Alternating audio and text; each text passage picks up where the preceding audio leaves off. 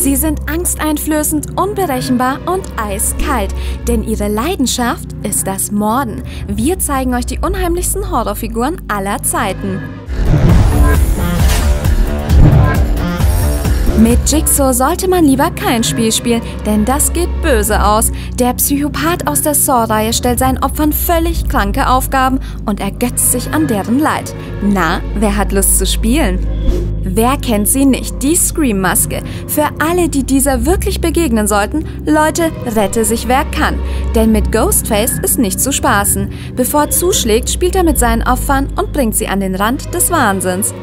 Er ist der Mörder hinter der Eishockeymaske.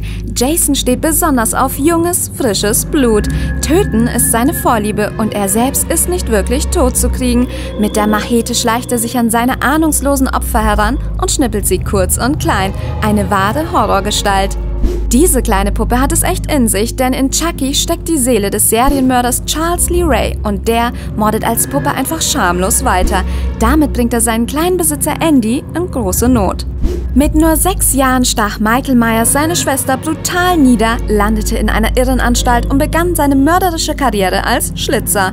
Er zählt definitiv zu den gruseligsten Horrorfiguren aller Zeiten. Durch sein emotionsloses Aussehen weiß man nie, was er als nächstes tut. Eins, zwei, Freddy kommt vorbei. Drei, vier, er steht schon vor der Tür. Dieser Satz bietet jede Menge Gänsehautpotenzial, denn vor Freddy Krüger ist man nicht mal in seinen eigenen Träumen sicher.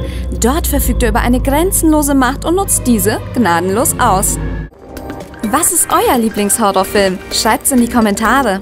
Schaut euch jetzt die modernen Märchenverfilmungen an und abonniert unseren Channel.